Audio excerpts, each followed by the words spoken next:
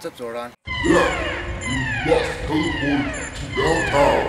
Rita has sent down the monster named Night Owl. Okay.